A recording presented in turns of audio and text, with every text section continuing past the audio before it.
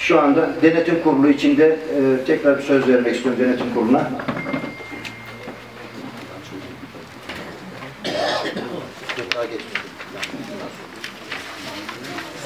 Salın Mahallesi Sosyal Yardımlaşma Dayanışma Kültür Derneği Hayırlı uğurlu olsun. 31-5-2016, 31-5-2018 dönemi denetleme kurulu raporu.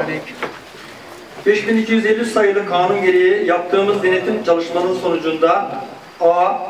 Yönetim Kurulu'nun 5253 sayılı Dernekler Kanunu ve bu kanun çerçevesinde yayınlanan yönetmelik ve genelgeler doğrultus- doğrultusunda görevini yürütmeye genel kurul tarafından alınan kararları uygulamaya itina gösterdiği. B. Yönetim Kurulu'nun olağan ve olağan olarak ayda bir defa toplandığı yaptığı. C. Alınan ile alınarak uygulandığı D.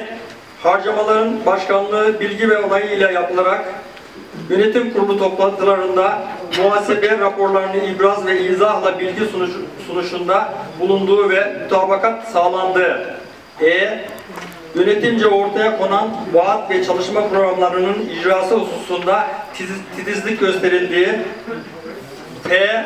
Onay gerekenlerin tasdik ettirilmesi suretiyle defter ve dokümanların Türk Medeni Kanunu, Dernekler Kanunu, vergi usul kanunu hükümlerine göre tutulduğu, kayıtların yasal süresi içerisinde kanuni defterler işlendiği tespit edilmiştir.